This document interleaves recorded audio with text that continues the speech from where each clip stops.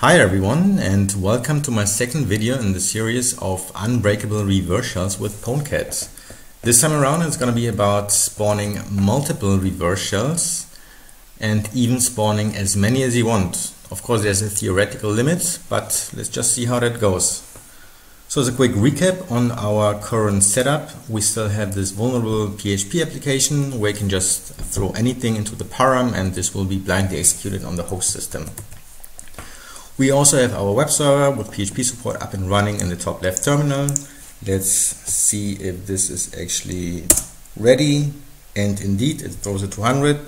So let's just hop over to our Kali box.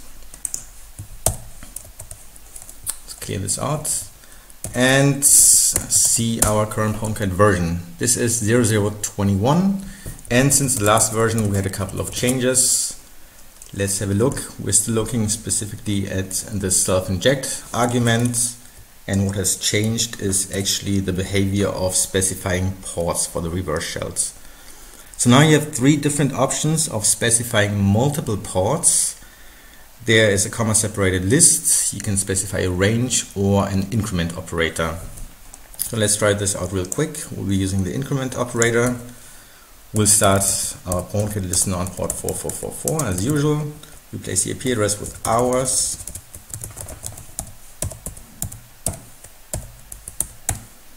Start off at port 4444 for the first reverse shell and then give it another 3. So let's start this up real quick we'll head over to our vulnerable PHP application and as shown in the last video we'll simply be using an initial netcat web shell and here we go. PwnCat has already launched four reverse shells connecting to us. Let's see if that actually works. For the first one we will be simply using netcats at port 4445 as 4444 is still in use by the initial listener. And we have a client connected. Let's give it a shot with another one. 4446 this time we have a client connected and let's also use the last one which is 4447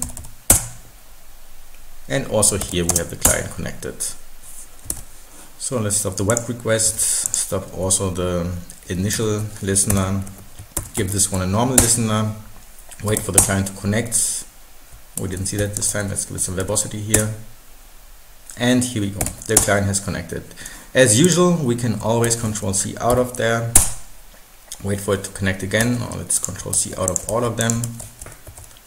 Let's wait for them to connect again. There we go.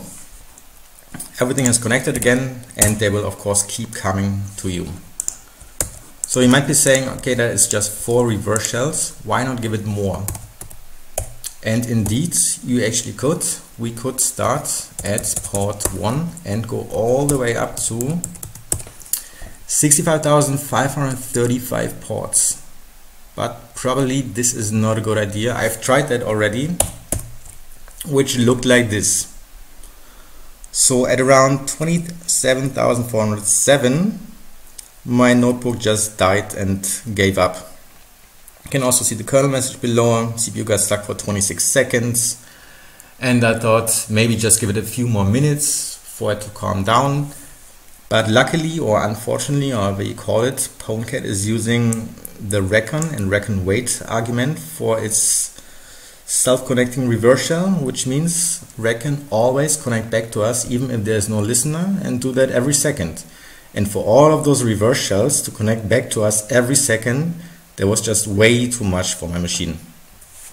So think for yourself, is it a good idea to spawn so many shells or maybe try it even out? How many shells can you spawn? Let me know in the comments below. Thanks for watching.